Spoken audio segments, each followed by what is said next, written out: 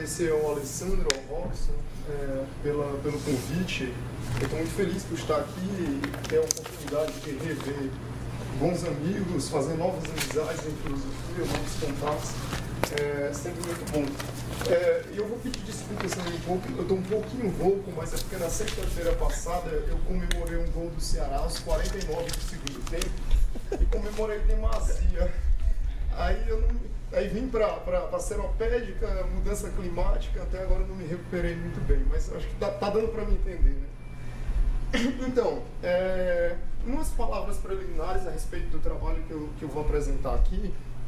É, de que há dois anos atrás eu terminei é, meu doutorado, eu defendi minha tese de doutorado sobre quantificação restrita e sim, o cenário geral da tese era discutir é, modelos semânticos para quantificação restrita. É, e basicamente eu apresentava lá a ideia de que em ZFC, teoria dos conjuntos, ZFC, é, a quantificação restrita era impossível é, e discutia pelo menos as possibilidades, discutia uma discussão mais filosófica e menos técnica sobre a possibilidade e legitimidade de testar é, alternativas não clássicas, especialmente com a teoria dos conjuntos paraconsistente. É, e colocando o problema da quantificação irrestrita nessa ciranda de é, lógica clássica, lógica não clássica, eu fui cada vez mais me interessando com, é, é no tema do pluralismo lógico. E depois de uma certa ressaca acadêmica do doutorado, agora eu decidi me dedicar é, mais a fundo ao pluralismo lógico. Então esse é um, como a gente diz, é work in progress. Eu tenho uma proposta é, relativamente modesta aqui, um trabalho inicial. Eu, eu fico feliz se tiver sugestões, críticas ao, ao trabalho. Então, é... não tá. Para baixo, é para baixo. Ah, para baixo, ok. É... Ok. É, um roteiro básico da minha apresentação. Eu, eu vou querer inicialmente apresentar a tese pluralista, é, depois, diferenciar o pluralismo do relativismo, isso é uma confusão que é comumente feita, é, especialmente fora da filosofia da lógica, acho que mais fora da filosofia da lógica do que propriamente dentro da filosofia da lógica. Eu quero diferenciar também o pluralismo lógico do antirrealismo lógico.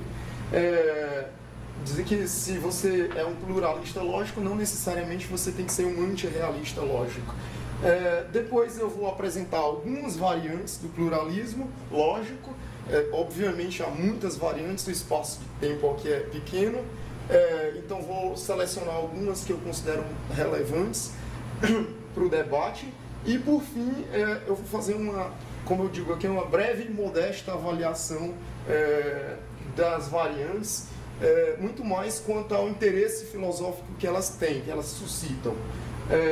então, Definindo pluralismo lógico. É, a definição de pluralismo lógico é curiosa porque se eu, se eu quiser apresentar em linhas gerais a tese do pluralismo lógico para vocês, eu poderia simplesmente dizer é a tese de que há mais de uma lógica correta. E ela se opõe ao monismo, a tese de que há uma única lógica correta. Então a compreensão é ridiculamente simples, né? Assim, você olha, assim, dá para entender, não precisa nem fazer lógica 1 para entender o que o pluralismo e o monismo é, querem dizer.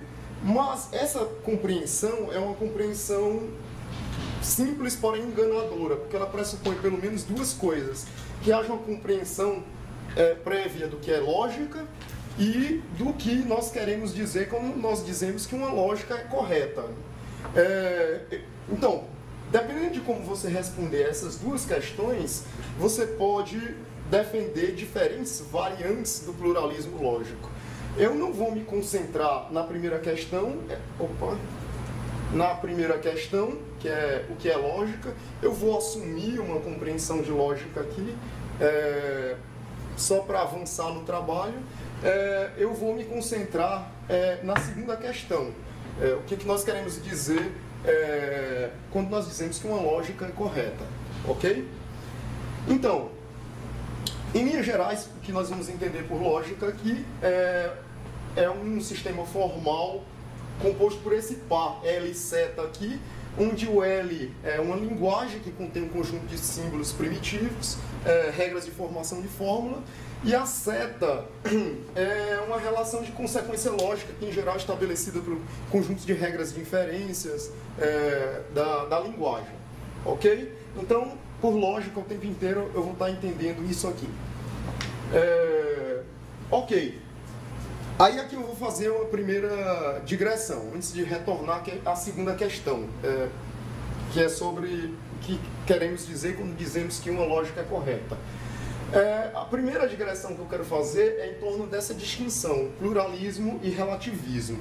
É, há uma confusão em alguns círculos de filosofia que tomam essas duas noções como noções correlatas, é, é pluralismo e relativismo como se fossem sinônimos. Mas não, assim, eu, eu vou tentar defender que elas não são noções correlatas, não são sinônimas. É, e tem um outro filósofo que é, concorda comigo, que é o Roy Cook, nesse artigo de 2010. Ele, numa sessão do artigo, ele, ele tenta defender exatamente isso. Então, que, que é basicamente é, relativismo? Eu digo que alguém é relativista quanto a um fenômeno X, e aqui eu estou falando nem lógica especificamente, pode ser qualquer fenômeno que você possa imaginar, ele é relativista quanto a um fenômeno X, se somente se é, esse alguém assume que a abordagem correta de X depende de um distinto conjunto Y de fatos. É, eu dou dois exemplos aqui. O primeiro exemplo é um exemplo meu mesmo, é, parece óbvio né, no contexto do exemplo. É, e o segundo exemplo é o do Cook. É, vou começar pelo do Cook, né, ele fala de regras de etiquetas. É, por exemplo, no Brasil nós temos um conjunto de regras de comportamento coletivo, regras de etiqueta. É, no Japão nós temos outro, é, e outras sociedades relativamente diferentes nossa temos outras tantas regras de etiquetas. E parece bastante razoável dizer que nenhuma delas é, correta em detrimento de todas as outras. Todas elas são corretas, mas cada uma correta relativo a um, uma determinada cultura, a um determinado contexto social. Então, é, do mesmo jeito, eu posso falar é, que o tempo que eu levo de Seropédica até o Galeão, essa, esse percurso que eu vou fazer amanhã de manhã, é também relativo. Por quê? Porque eu tenho mais de uma resposta correta, sim. Mas cada resposta é correta relativa ao meio de transporte que eu vou usar de seropédica ao galeão. Se eu for de carro, eu, sim, eu tenho uma resposta para essa questão. Se eu for de ônibus, eu tenho outra resposta a essa questão e assim por diante.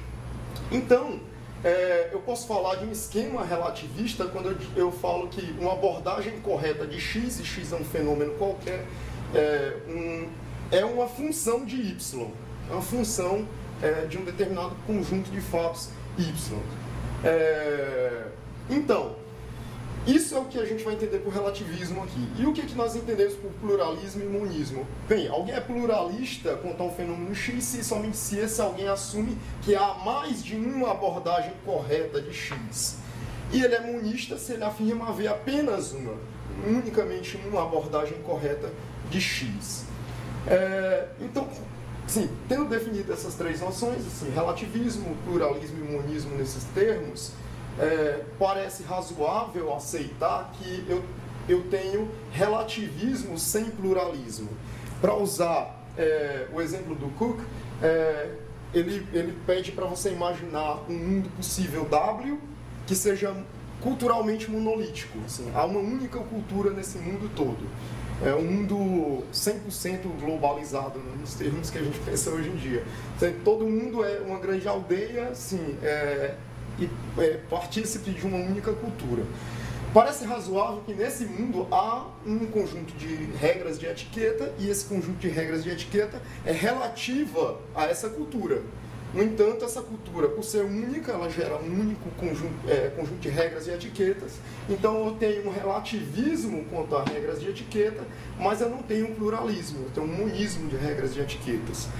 É, então, se argumentos desse tipo estiverem corretos, eu, o pluralismo não seria uma condição necessária para o, o relativismo.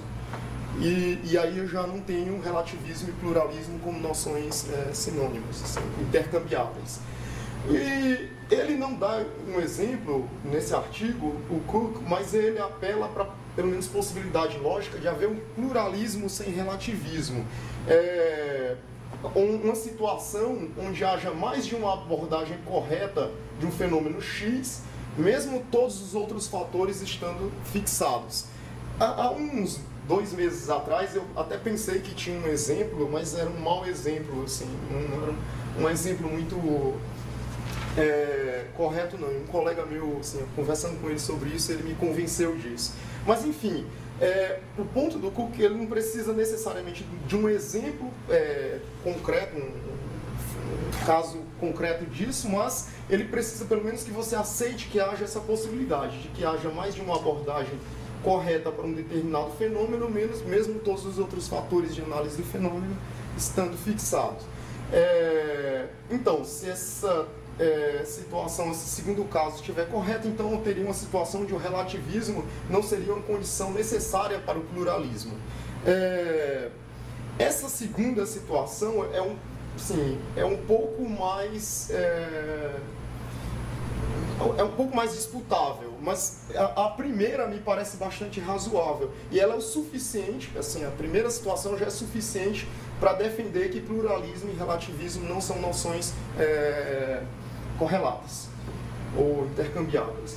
Ok, mas é, tem um dado curioso, assim, as situações é, mais, filosoficamente mais interessantes é, de relativismo não são aquelas onde você tem relativismo e não tem pluralismo, é onde você tem relativismo e tem pluralismo, ou seja, uma situação onde você tem uma multiplicidade de abordagens é, derivadas de uma, uma multiplicidade de, de fatos é, é, Y, é, onde cada conjunto Y de fatos determina pelo menos uma abordagem é, supostamente, é, supostamente correta desse fenômeno.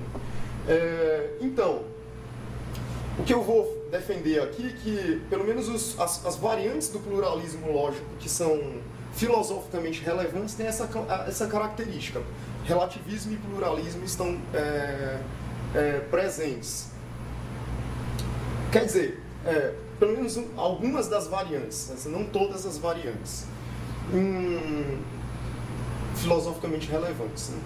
Então, uma outra distinção importante é entre pluralismo e, eu coloquei no título do slide pluralismo e realismo lógico, mas na verdade é pluralismo e antirrealismo lógico. A ideia básica é que parece fortemente intuitivo de que se, você, se o pluralismo lógico estiver correto, você também teria um antirrealismo lógico. Né? Assim, você tem várias lógicas corretas, é, então não há nenhuma lógica fundamental, então é, cada lógica descreveria uma realidade própria e não há nenhuma uma forma é, especial de descrever a realidade nas suas estruturas é, de racionalidade, essas coisas todas.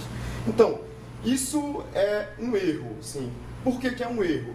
Porque o, o, o pluralismo, é, desculpe, é, o realismo lógico, o realismo lógico não é incompatível com o pluralismo pelas seguintes razões.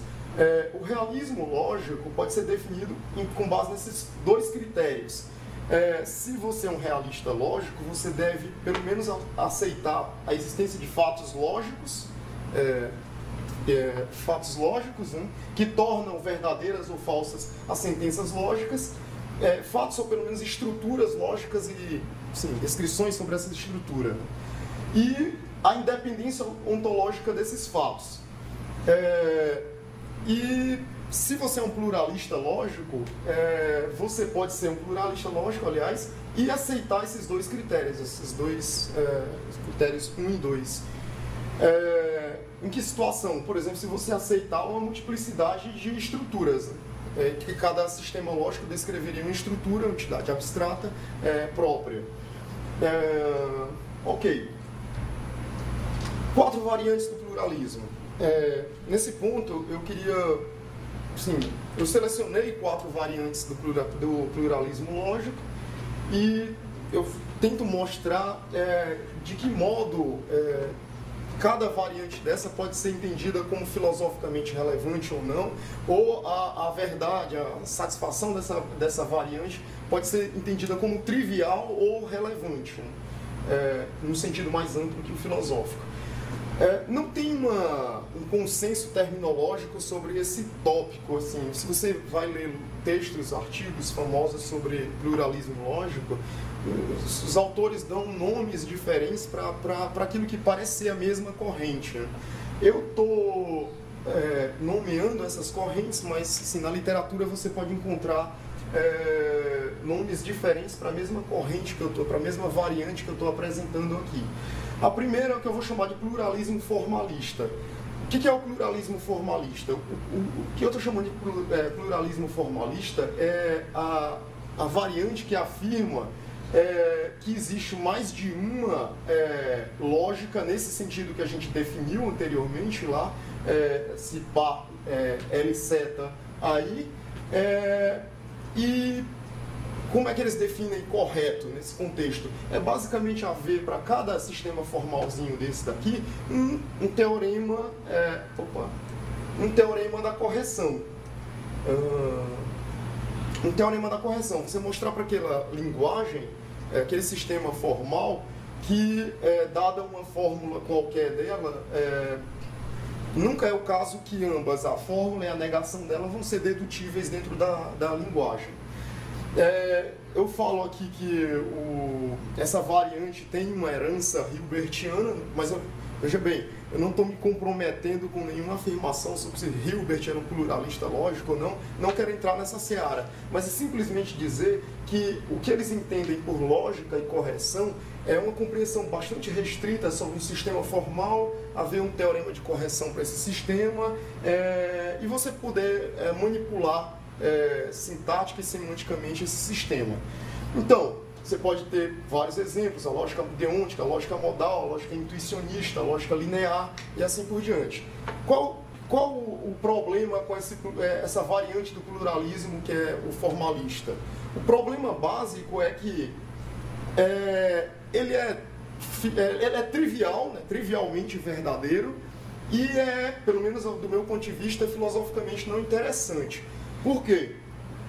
Porque ele é uma tese quase que sociológica sobre a lógica, é uma tese empírica sobre o que os lógicos estão fazendo é, nos departamentos de filosofia, de matemática, computação, é, mundo afora. Você olhem o que os lógicos estão fazendo. Os lógicos estão brincando com linguagens distintas, essas linguagens têm regras muito bem definidas. É, e elas são internamente consistentes, mas muitas delas incompatíveis entre si e, e por aí vai. Então, isso é uma mera observação sobre a prática é, dos lógicos. Mas isso é filosoficamente não interessante. Se o pluralismo lógico é uma tese é, que interessa aos filósofos, não é simplesmente por isso, né? uma afirmação sobre a prática é, dos lógicos. É algo mais. É, quem uh, defendeu esse algo mais, uma das variantes, é o que eu estou chamando aqui de variante pragmatista do pluralismo lógico. O que, seria uma variante pragmatista? Ela aceita tudo que aceita a, a variante é, formalista, mas ela acrescenta uma tese 2 aqui, é, que é a ideia de que um sistema lógico correto é determinado pelo uso que, ele, que é feito dele, a aplicação é, do sistema. É, veja bem, é por isso que eu chamo de pragmatista, basicamente, né? porque uma, uma lógica puramente, um jogo lógico puramente formal, técnico, sem aplicação nenhuma, é, não seria correto nesse sentido amplo. Então, essa, essa, essa acepção de correção de lógica nada tem a ver com o teorema da correção, tem a ver com algo mais amplo, é, tem a ver com é, função de uso né, é, do sistema, da linguagem e assim por diante. Aí eu poderia, sim, poderia falar, por exemplo, da lógica deúntica, que é aplicada à ética, à modal, com questões, tratamento de questões metafísicas, lógica intuicionista para matemática construtivista, lógica linear para a solução de alguns problemas de computação e por aí vai. Então, qual o problema com essa variante? Bem, é, ela também é trivialmente verdadeira em certo sentido, mas é, ela leva uma pequena vantagem com relação a, a, a, a variante é, formalista, que é o interesse filosófico quanto à aplicação de um sistema lógico. Bem, aplicação é, é uma questão que interessa a filosofia em muitos campos. A linguagem né, é um fenômeno filosoficamente bastante interessante, que a linguagem, linguagens naturais, assim, de uma forma bem ampla, é, é, é capaz de representar o mundo. É, é, é, um fenômeno bastante interessante na filosofia da matemática que aquelas coisas que os matemáticos fazem conseguem também ser aplicável em vários contextos é, é nas ciências, na assim, solução de problemas práticos, cotidianos e assim por diante. a próxima vez que eu apresentar isso eu vou incluir, então, para provar que Pegasus é, não existe, mas está em algum lugar. Né?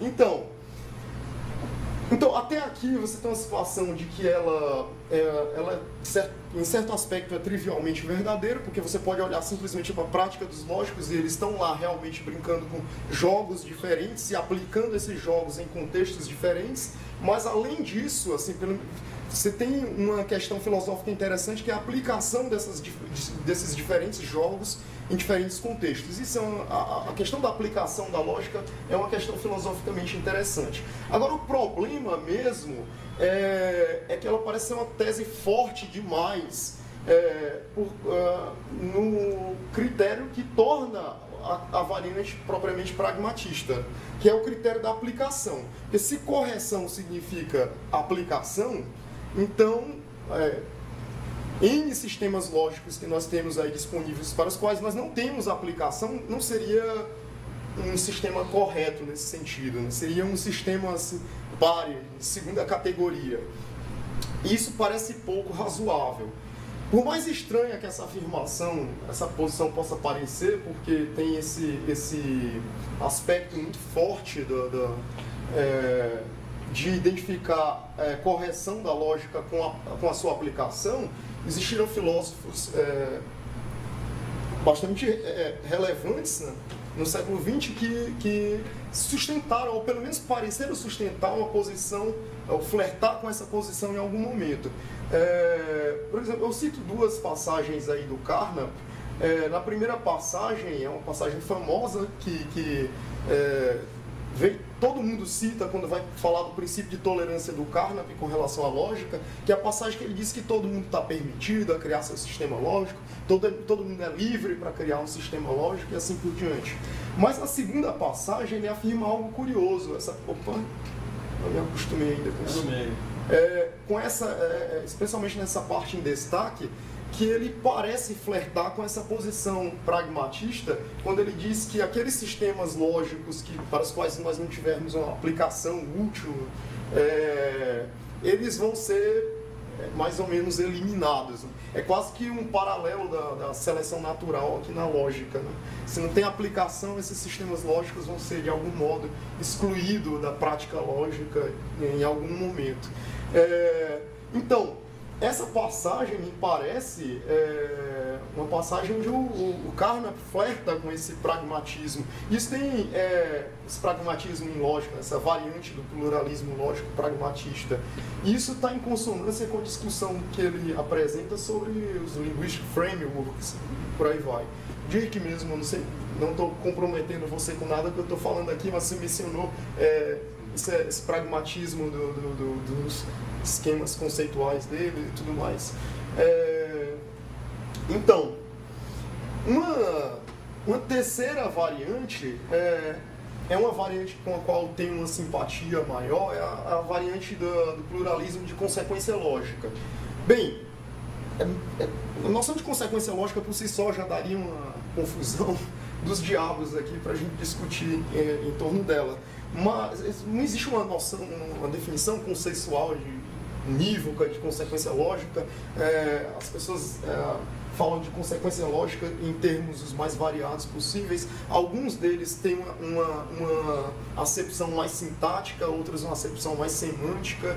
É, eu falo, por exemplo, aqui, ah, se você tem uma, a conclusão de um argumento, é, a conclusão φ de um argumento é consequência lógica de um conjunto gama de premissas se somente se o argumento é válido. Como é que você fala de validade do argumento. Aí você pode dizer que gama implica phi, ou que gama segue-se, eu desculpa, phi segue-se de gama, o argumento preserva verdade, é, é, é, impossível que todas as fórmulas gama serem, sejam conjunto, está errado aqui, sejam conjuntamente é, verdadeiras e phi falsa, todo modelo que satisfaz todas as sentenças de gama satisfaz é, phi e assim por diante. Mas veja bem, essas expressões implicar, seguir-se de, preservar a verdade, ser impossível, ser satisfeito por um modelo, tudo isso, assim, fora do contexto, é muito vago, né? Assim, é, de, é, de, lógica para lógica, os caras é, têm definições muito particulares do que, que, cada expressão dessa significa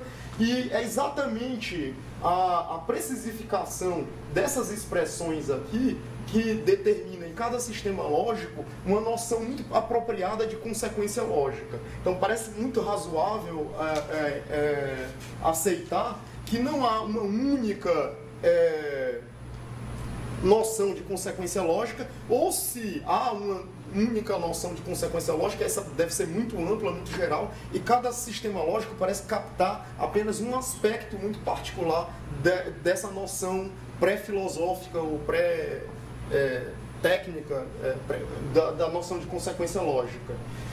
Então, é,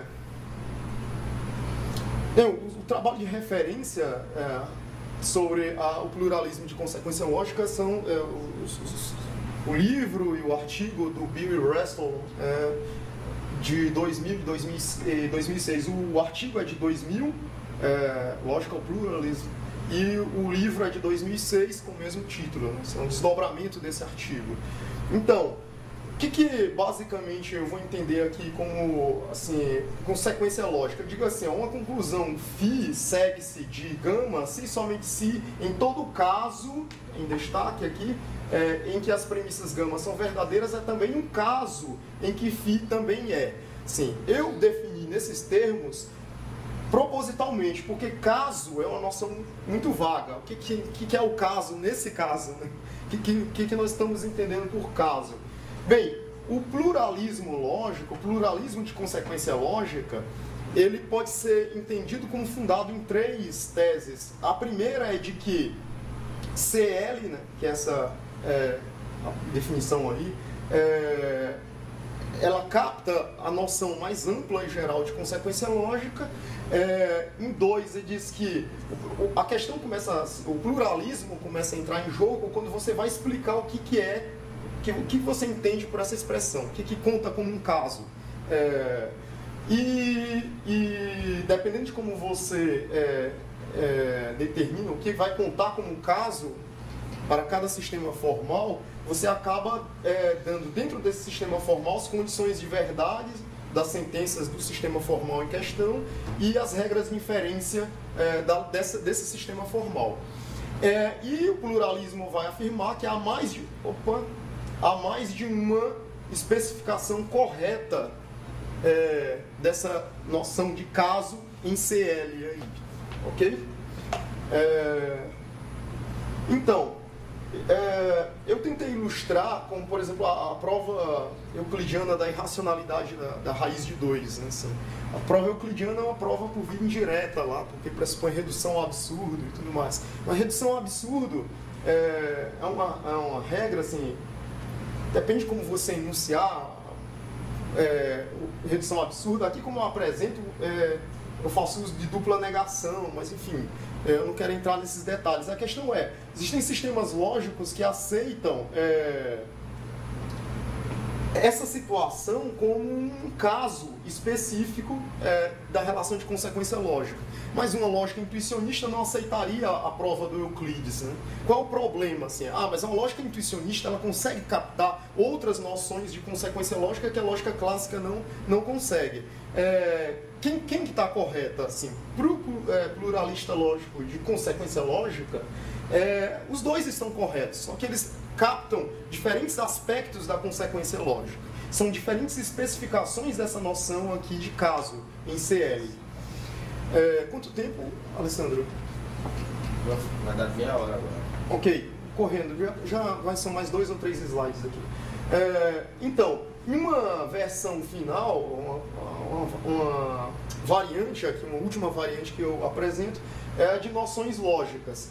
A de noções lógicas é, é, é muito parecida com a de consequência lógica, mas você retira a noção de consequência lógica colocando a, a, a em jogo a noção de noção lógica, de constante lógica. Pega um argumento simples, como usar o exemplo do Luciano falou é, de bebê, né? Assim, eu estou usando um, um argumento de bebê aqui.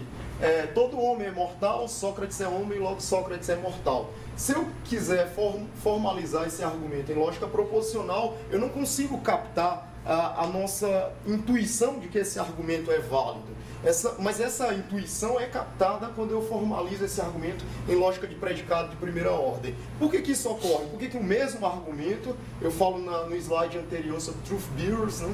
você tem um conjunto de sentenças é, é, e esse, essas sentenças é, estão sendo avaliadas dentro do sistema lógico, essa sequência que torna esse. É, que, que, constitui esse argumento é inválido na lógica proporcional e válido na lógica de predicados. A questão básica, diz o pluralista de noções lógicas, é porque o que conta como argumento válido ou inválido, o que conta como consequência lógica ou não, é, vai variar dependendo do, da sua escolha de noções lógicas. O que, que você, qual, qual é o conjunto de noções lógicas que você tem de, do seu sistema? como diferentes sistemas possuem diferentes conjuntos de noções lógicas, é, é normal que cada conjunto é, capte é, um aspecto diferente dessa, dessas validades do argumento, de, de, de, um mesmo argumento e assim por diante. Bem, o problema é, dessa, o desafio dessa variante é porque há muita confusão como sempre em filosofia, é, em torno do que seja uma noção lógica. Eu menciono o trabalho do Tarski, que é uma tentativa de responder a, a, essa questão do que é uma noção lógica em termos de critério de variância, em variância sobre mudança de domínio, é, mas, enfim, toda a polêmica que há em torno da definição de noção lógica é transferida para essa, essa variante do pluralismo. A variante do pluralismo vai enfrentar todos os desafios que uh, a própria definição de noção lógica vai, vai enfrentar. Então, eu apresentei quatro variantes alguém poderia perguntar, fazer uma perguntazinha básica, né? Mas então, afinal de contas, o pluralismo lógico é um pluralismo de quê? O que está realmente em jogo é, no pluralismo lógico? É, é um pluralismo de é, linguagens formais, ou de aplicação de linguagens formais, ou é de noções de consequência lógica, ou é de conjuntos de noções lógicas. E isso só para ficar nas quatro variantes que eu apresentei, existem outras variantes. É, primeiro de tudo, a, o que precisa ficar claro é que você não precisa escolher uma única.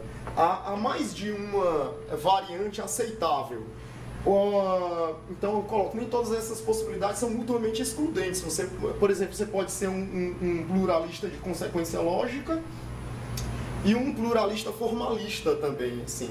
A, agora a questão é, é, o pluralismo formalista, se eu estou correto, é, é filosoficamente não relevante. É, mas outras variantes são filosoficamente relevantes. É, e é mais ou menos essa é, consideração final que eu faço a respeito dessas variantes é que, por exemplo, eu tenho um caso do pluralismo é, formalista, que é uma situação onde você tem uma variante que é trivialmente verdadeira e filosoficamente não interessante. É, o pluralismo pragmatista é uma situação onde você tem, pelo menos em um certo aspecto, ela é trivialmente verdadeira, mas ela tem componentes nas suas teses que são filosoficamente relevantes, especialmente a questão sobre a aplicação da lógica. E ela levanta outras questões interessantes também do ponto de vista filosófico. Por exemplo, é, o pluralismo pragmatista é, tem que estar tá, é, comprometido com o antirrealismo lógico ou não? Isso é uma, é uma questão filosoficamente interessante sobre o, o pluralismo pragmatista. Mas, pelo menos das quatro é, variantes que eu apresentei, a, a, as únicas que eu pensei tanto, tanto é, relevantemente verdadeiras, ou seja, não triviais como filosoficamente interessante são as de consequência lógica de, de constantes lógicas. Por quê? Porque ele lida com noções que são noções muito básicas é, em, em, filosofia da lógica. Assim, compreender o que é lógica por si só é, é impossível sem compreender é, noções tão fundamentais como a noção de consequência lógica e a noção de constante lógica. Então, é um, um trabalho ainda inicial, eu sim, tenho afirmações que são muito modestas a respeito do, do, da, das variantes, é, mas que eu gostaria de discutir e receber algumas críticas, enfim, sugestões. Obrigado. Bem, a, o... Esqueci, não. Marcos Flash. É, um pouco comigo, né? É, então, é um pouco, um pouco esquisito pensar que dá para ser pluralista e realista ao mesmo tempo, levando em conta que tem lógicas que são incompatíveis, né? Tipo, sei lá, você pode ser real, aí suponho que você é realista lógico em relação ao intuicionismo e à lógica clássica ao mesmo tempo. Hum.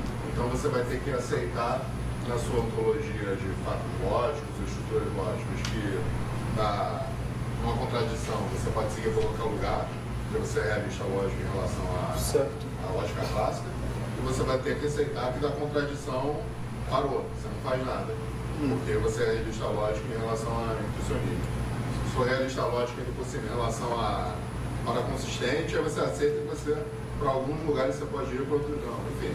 Certo. É, e, e vários, vários, outros casos de propriedades lógicas inconsistentes. Hum.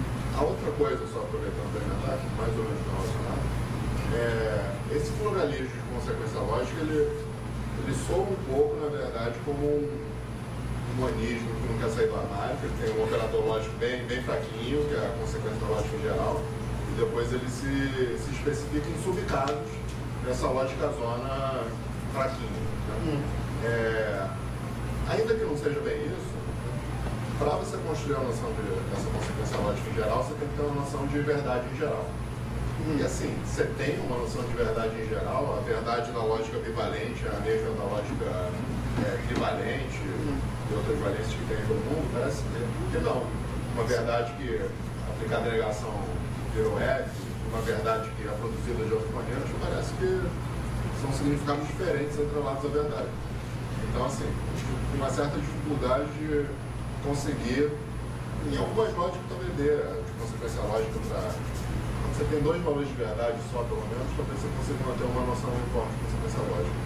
Equivalente, equivalente já dificulta. Ok, eu vou tentar, vou tentar responder por partes. A primeira parte é sobre pluralismo e relativismo, realismo. É, então, não, eu, realismo.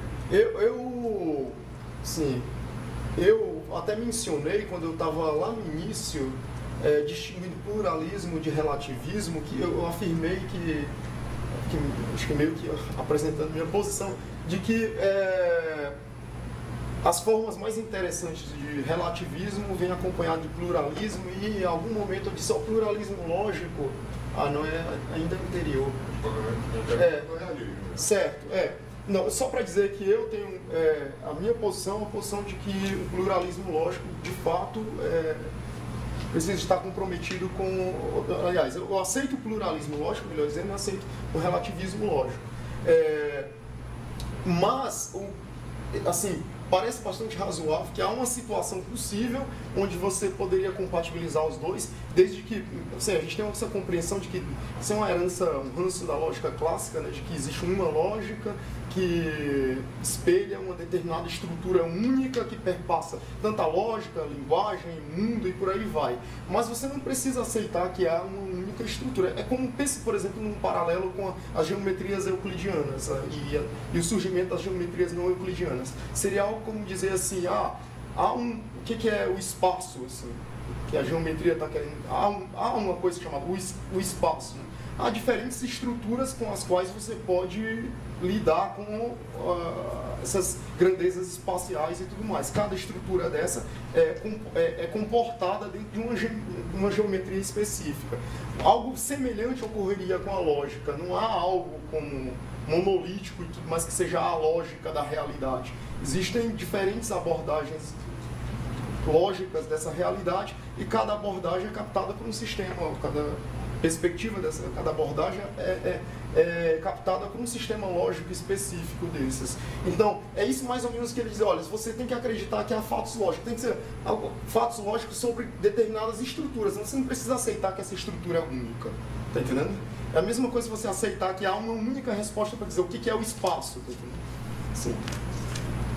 É porque elas são incompatíveis, né? Elas têm, elas, mesmo sendo incompatíveis, essas reais, elas têm que conviver e ainda mais, você tem que ter uma leitura, uma leitura meio platonista a respeito dessas estruturas, né? Porque você tem que ter, você afinal, você é realista, você tem que afirmar um comprometimento é, ontológico com essas estruturas, né? essa estrutura no sentido linguístico e tudo mais. Então, então, a questão básica é que, por mais estranho que isso possa parecer, isso aqui é compatível desde que você adicione determinadas teses que são teses ontológicas. Sim. Claro, você pode não aceitar essas teses, e, aí, e eu, por exemplo, não aceito. É, então eu acho mais razoável pensar o pluralismo aliado a um, real, a um antirrealismo lógico. É, mas isso não é necessário. Dizer, você pode, é logicamente possível uh, as duas, ser pluralismo e realismo lógico caminharem juntos também. Primeira, a professora Célia. Mas eu acho que eu não, eu não respondi a segunda questão. A segunda questão era é, como é que você vai falar de uma noção comum de consequência lógica? Ah, certo, é, certo. Com noções diferentes, incompatíveis é por, de verdade. É porque, na verdade, como eu disse, CL é descrito propositalmente de maneira vaga, assim. É porque quando nós vamos falar de consequência lógica, assim, na lógica, todo mundo está querendo captar uma definição, como se haja uma definição, se houvesse uma definição primordial do que é a noção de consequência lógica. Isso aqui é posto de forma propositalmente vaga para dizer que, na verdade, isso aqui é quase um esquema, não é uma definição, é um esquema da, da consequência lógica. Isso vai ser espe especificado de diversas formas, cada forma dessa vai determinar um sistema lógico específico, com a noção de, de consequência lógica específica. Então, isso aqui é muito, não é uma definição, não funcionaria como uma definição de consequência lógica, mas é, é um esquema da noção de consequência lógica visão, ela não é só vaga, ela é equívoca, porque a palavra verdadeira ali, ela significa uma coisa. Hum. Para uma lógica ambivalente, significa uma outra coisa diferente para uma lógica. É, não, isso eu concordo com você. Ah, tudo bem, equívoco. É isso, isso eu concordo com você, mas não é um problema para o é, pluralismo, porque o que você só está querendo mostrar é que verdadeira nesse esquema ocorre, é, é, enfim, está no mesmo pé de igualdade que a palavra caso. Assim, você precisa de uma especificação do que é verdadeiro também aí. Assim, é, não sei se eu respondi. Luciano? É, professora Célia. Ah, da Célia. É, na verdade é uma clarificação, porque mesmo sem saber pensar acerca do pluralismo lógico, é particular quando colocas a questão, quando pões os exemplos de lógica modal, lógica biológica, uh, lógica evolucionista, aí parece-me que há uma, há uma tese desinteressante, como tu próprio dizes, Sim. acerca do que é pluralismo lógico. Há várias lógicas. Mas são lógicas que não são incompatíveis, porque elas querem dar conta de diferentes aspectos. Umas são uma extensão da outra. Seria como dizer que existe uma pluralidade teorias científicas, porque as, as biólogas, biologia, teorias da seleção natural e tens a teoria quântica. Isso não é relevante para a pluralidade. Claro okay, que há. Okay. ok? A analogia que fizeste com a geometria, aí já me parece mais interessante e parece de facto refletir aquilo que tu queres. Hum. Contudo, nós sabemos que a geometria euclidiana é falsa, é teoria falsa. Se estás a pensar em geometria como teoria do espaço, há uma coisa que a geometria quer dar conta, e nós sabemos que o espaço é não euclidiano. Hum. E a discussão de, de, de geometria, então a geometria do espaço, okay. muita gente acha que, por simplesmente, é falsa. A geometria é falsa que a geometria euclidiana conta do espaço. É uma teoria rejeitada. Não dá conta do espaço porque é a teoria incorreta. Será que podemos dizer isto, isto, isto é uma coisa que podemos dizer acerca da lógica? Se pudermos dizer isto acerca da lógica, conseguimos perceber o que é que a lógica quer dar conta e se calhar, se a lógica quiser dar conta de fenómenos distintos, assim como temos a física uh, quântica e a biologia, por exemplo, se calhar aí podíamos ter tal pluralismo interessante. Se há lógicas incompatíveis que querem dar conta do mesmo fenómeno, da estrutura do mundo, sei lá, o que é que seja, então aí o pluralismo faz sentido, não é? Hum. Mas se aí o pluralismo faz sentido, caímos no relativismo hum. são lógicas que estão a dar conta do mesmo fenómeno e têm respostas distintas e não incompatíveis entre si. Portanto, é uma, uma espécie de relativismo. Parece, portanto, parece que o pluralismo só é interessante se for relativista. Se não for relativista, parece que é trivial. Ok, ok. É. Eu, eu, vou, eu vou completar. É isso que eu queria falar, é. na verdade. É, pela sua definição de pluralismo, a única chance de alguma coisa ser pluralista, me parece, hum. é a noção de, de pluralismo de consequência lógica. Okay. O resto seria nem pluralismo. A única chance de isso ser pluralista é na noção de consequência. É mais ou menos é. para onde ela está indo. É. É, mas isso é só um, um talvez rever a, nossa, a definição de pluralismo mais simples. Não, é, primeiro de tudo, assim, eu concordo com os dois. Assim, a minha simpatia, como eu havia dito, maior pelo pluralismo de consequência lógica, exatamente porque eu penso que é daqui que eu tiro as, as intuições filosóficas mais relevantes. Sim, Sim. primeiro ponto. É, um, sobre a sua observação quanto aos exemplos que há. O, tem um problema aqui na minha, que é um problema mais didático do que um problema propriamente filosófico. É que quando eu apresento essa listazinha, eu apresento no contexto do é, pluralismo pragmatista e do é, pluralismo formalista. É, sim, tudo bem quando eu apresento as variantes seguintes, aí isso gera esse incômodo, porque algumas dessas variantes, ou, desculpa, alguns desses exemplos são meras extensões é, conservativas da, da, da, do outro sistema. É, mas isso fica mais claro quando eu chego no pluralismo de consequência lógica. Não, mas, e, mas eu falei, é, há uma possibilidade disso ser o pluralismo verdadeiro. Porque, vai de, porque pode ser que você trate de domínios de fenômenos diferentes que não caem dentro da sua definição de pluralismo. Ok. É. Ok. É, não, mas nesse ponto eu concordo. Assim, eu não, não, tenho, não, estou, não, é, não estou disputando quanto a isso. Agora, a, quanto à observação que você fez a respeito do, das geometrias, você diz, ah, tem uma coisa que nós, não, nós sabemos é que a geometria, é, o espaço não é euclidiano. Eu, eu, eu não sei se eu estou totalmente convencido disso, porque parece que essa posição já pressupõe algum tipo de realismo quanto ao espaço. Então, é, então tem uma pressuposição filosófica implícita. É a mesma coisa, por exemplo, com a, a, a mecânica clássica newtoniana. Ela é correta ou incorreta? Sim. Bem, se você é um realista, se você é um realista é, é, em física, certamente você vai dizer que ela, que ela é incorreta. Mas o meu ponto é, essa resposta pressupõe alguma posição filosófica anterior, que é já uma decisão prévia sobre realismo ou antirrealismo. Eu estava tentando apresentar a situação de uma forma mais neutra possível. Por exemplo, a minha simpatia é por uma posição que casa pluralismo lógico e antirrealismo lógico. É... Mas isso é uma, uma, uma, posição minha. Quando eu tenho, tento apresentar o problema, eu estou tentando apresentar da forma mais neutra que der fosse um realista lógico, então se fosse pluralista, tens de ser relativista. Hum. Porque estás a dar conta do mesmo fenómeno, queres dizer que há várias explicações para o mesmo. Então se é relativista é que pode dar conta. Certo, certo. se fosse relativista é que pode é, é, me parece razoável. Eu agradeço. Ok. Tem, sou Guido, acabou Guido o tempo. Foi mais ou menos, tinha parecido Tá. Bem, então, obrigado. Obrigado, obrigado pessoal.